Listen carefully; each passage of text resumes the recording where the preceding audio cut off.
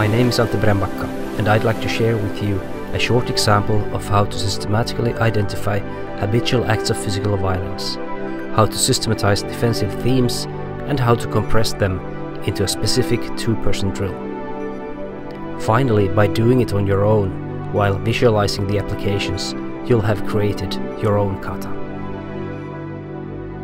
As the theme for this short instructional video, I've chosen releases and defenses against different grabs, starting from the wrist, then up the arm to the shoulder. Let's start by looking at different ways to deal with wrist grabs. First of all, your hand is weak when it's far away from your body, and strong when it's close to yourself.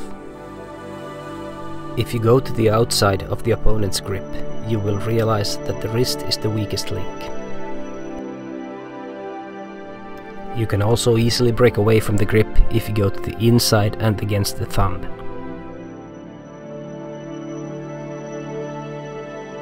If the opponent grabs with both hands, you can use your other hand to support your own movement. You can also make your releases more effective by slapping or striking the arms of the opponent lots of possibilities and variations of different wrist grabs. So next we'll squeeze all these important principles into four specific techniques.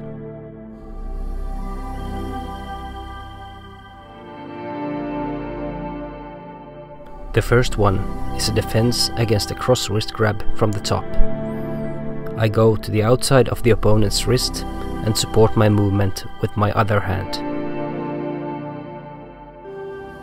We can easily see that this is a movement we can find in Seiunchin or Nipaipo Nepai Kata. The second technique is a defense against a double wrist grab. This time I go to the inside of the grip against the thumb. I also use my free hand to strike down on the opponent's arm to make the release more efficient. This move we can find in Kururunfa and Shisochin, but with some variation also in many other kata.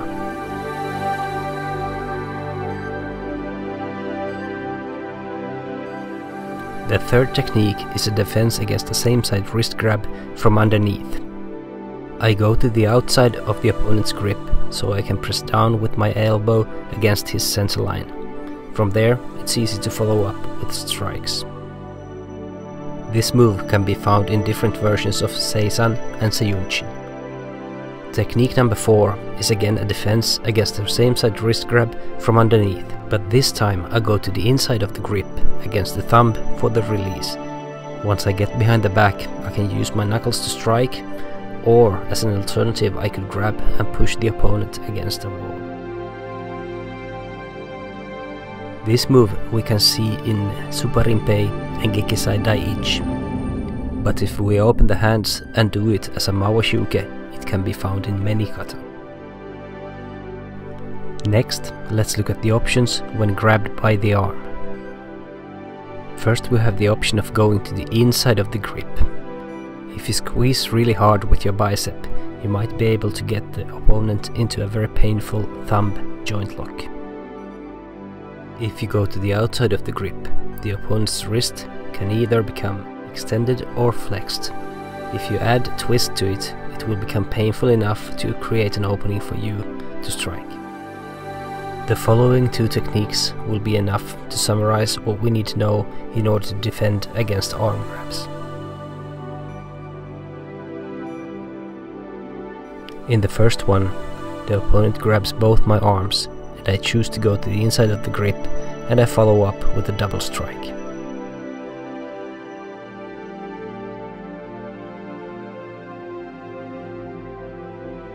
This move we can see in different versions of Pasai or Basai Dai, but also in the more exotic Shimpa.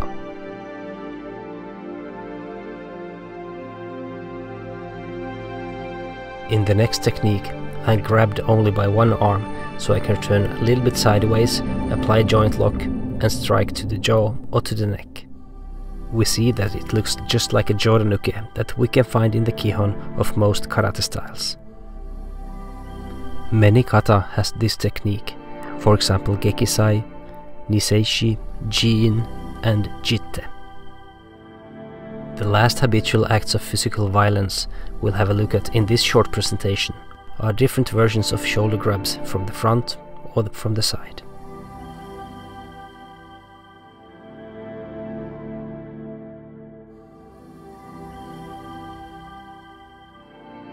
We have the option of either striking the arm that is grabbing you or then circle around to entangle it.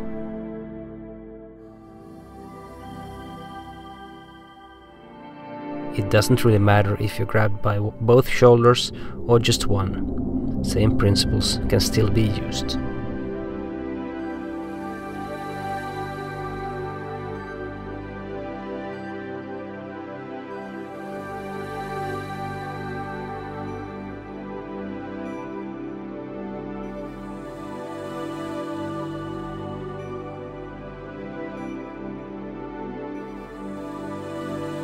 So in this technique, I strike or press down on the arm and then strike from underneath against the chin and finally to the neck. This move can be found in at least Seisan, Hakutsuru and Saifa.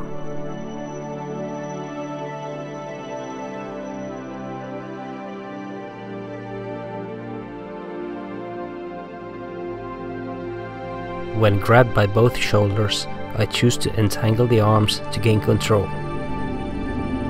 From here it's easy to follow up, for example with a headbutt. This is not a very common kata move, but something similar can be found in at least Happoren and Hakufa. In the next step, we'll put these eight handpicked techniques after each other into a two-person flow drill. This drill contains the most important techniques and principles that you need to know in order to deal with different grabs against your wrist, arm or shoulder.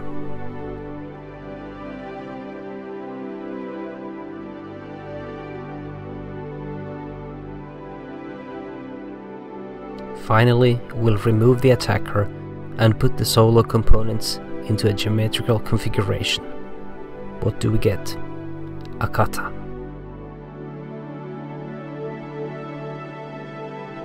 By making this video, I didn't want to discredit the old masters. They were the best of their time and I highly respect and appreciate what they have done for the art of karate.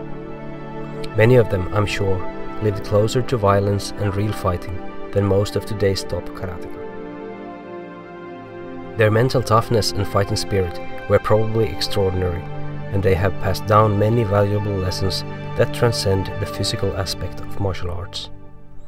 However, this doesn't mean they knew everything, nor that they were technically very skilled.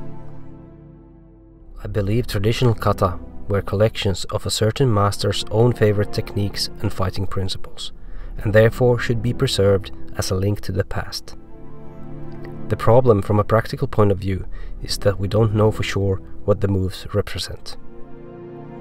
In this video I just wanted to show an example of how a kata can be created to cover the most important techniques and principles, in this case for dealing with different crabs, but also how we can do it systematically and pedagogically with all the information and knowledge we have today.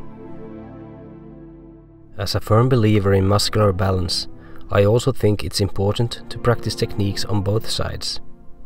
Creating new kata gives us the possibility to make them symmetrical.